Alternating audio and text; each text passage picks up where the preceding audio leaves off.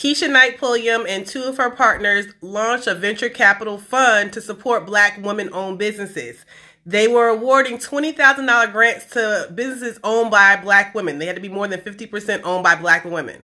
Well, now the guy that was behind the U.S. Supreme Court affirmative action case um, is actually suing this venture capital firm, saying that they're discriminating against other people because their grants are limited to black women owned businesses.